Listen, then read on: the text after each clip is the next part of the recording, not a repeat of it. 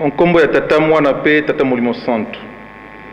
Nzambe wa biso, Tata Molimo Santu, pasi moki mbangu kiangani. Na ntongo toyembaki banzembo misato oyo ezalaki na konteni ya maloba na biso, mpe opesaki biso eyano mpamba te osengaki nzembo moko oyo epesaki eyano. Kasi lokola tobongisaki maloba yango, okolimbisa biso, tokotanga yango kaka na kombo ya Tata, Mwana, mpe Molimo Santu. Maloba ya bayembi ya Chorale des dirigeants epayi ya Papa Simon Kimbangu Kiangani, Mokonzi wa bule. Na kombo ya Tata, Mwana, mpe Tata, Molimo Santu. Papa Mfumua Longo, biso bana ba yo ya Chorale Dirigeants tozongisi matondi likolo ya matondi epayi wa yo Nzambe wa biso na ndenge obateli obateli biso mbula mobimba wuta o mokolo mo le 3 octobre 2014 kino lelo le 3 octobre 2015. Lelo tokokisi mibu zomi na mine wuta opesa biso mokumba mwa bobongisi milulu miye. Nde tosengi bolimbisi na mikakatano mpe nkokoso emonani na esaleli na biso. Nzambe wa biso, na boyei bwa biso na mbula oyo, ezali kaka na bonzambe bwa yo mpe nguya na yo. Na mokolo mwa yenga le 20 septembre 2015, o mboka Boko, olobaki ete soki otelemisaki moi, ezalaki na ntina ya ko recuperer loposo moindo, abika mpe azua trois quarts na ye. Tokomi mokolo mwa lundi 21 septembre 2015, olobaki ete match esili mpe otunaki ete nani alongi? Biso bana ba yo tozongisaki ete, Yo nde molongi. Na bomwana na biso, toyebi ete soki moto alongi, azalaka na esengo. Nsima ya esengo ya yo Nzambe wa biso, nde tokozwa mapamboli, biso bana ba yo. O bisika binso tozwami, tozali kozela mapamboli ya yo Nzambe wa biso.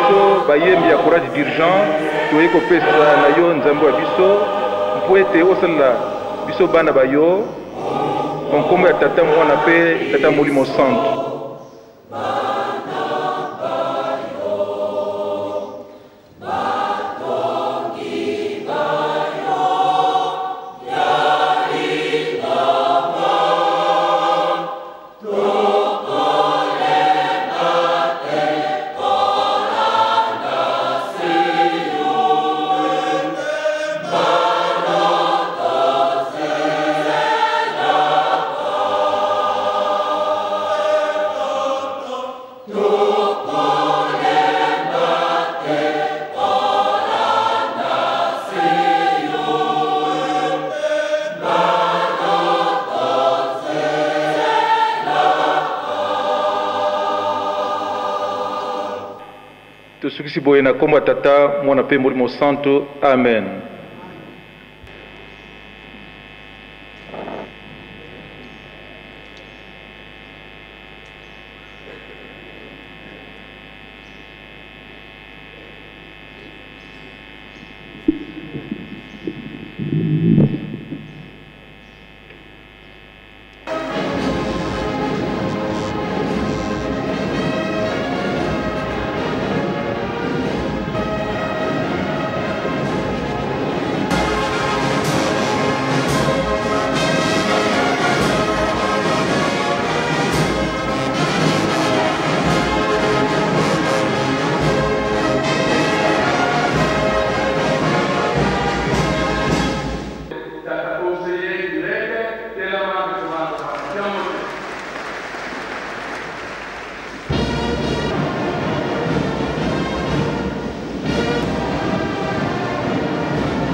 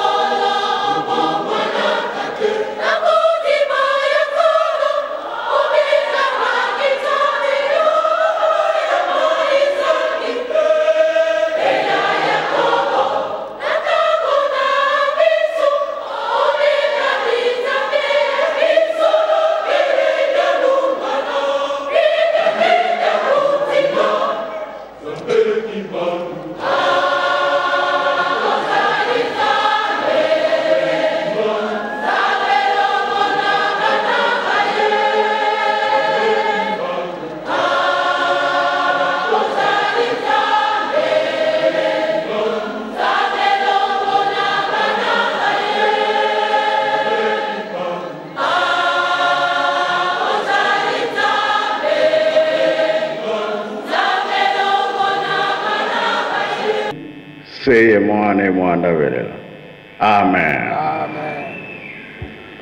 Na nkombo ya Tata, Mwana mpe Tata Molimo Santo. Tolandi mateyi na biso, Tata Pasteur ateyi biso, abandelaki na banzembo Bayuda, ake na mibeko mikanda na ye ya suka toyoki tobomba tosalela mpo mokolo wana tobika Ntango nyonso tolobaka makambo ya Tata Nkolo Yesu, makambo ya Tata Nzambe, mpe tolobaka makambo ya Tata Simon Kimbangu, ntango oyo tozali ntango ya Tata Molimo Santu. Yango nde tozo ko tonga lingomba ya Tata Molimo Santu. Esengo tomoni yango. Me mpo na kobongisa likambo na biso mpo esengo wana ekontinue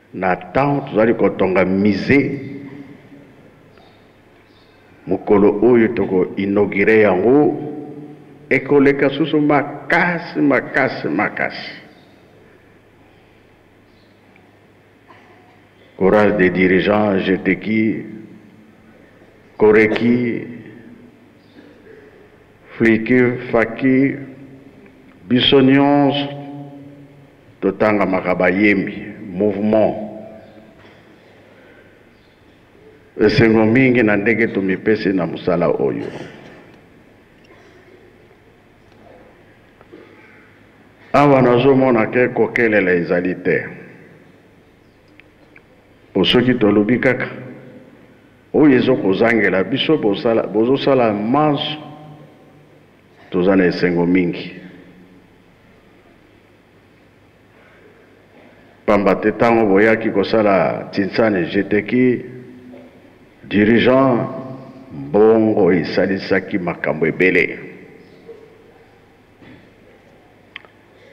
E tango pe bokeyi bozongi, tozo continuer kobenga bino. Pamba te biso toza kolanda makambo ba ingenieur bazali koloba. Muke muke papa oyo ezangi biso sikoyo tokosala ndenge nini? Ezala periode ya nsinsani ezala periode ya nsinsani te toza kotungisa bakonzi na bino mingi. Ekweya na butu ekweya na moyi soki tobeleli en tout cas bakonzi baza kosala tout biloko wana eza kotindama eza koya et surtout makambo ya mabende toza na retard lisusu te. Cote wana sans faute. Yango esengo boza kolakisa eza ya solo, endimami mpamba te bozala kolala mpongi te. Yango to continuer kosalela bongo. Bino bovandi na Europe, Tovandi na Angola, tovandi na Congo Brazza, awa na rdc, soki toningisi mokonzi na bino boyeba ke te biso bato totindi mpo retard ezala lisusu te mpo soki totali tinsan toyelaka le 6 avril oyo toyelaka le 8 juillet Le 12 octobre a bientot wana mwa pasi ekozala muke sala esalamaka nango mais oyo basengaka biso tanto ba ingenieur balobi ah papa tosengi boye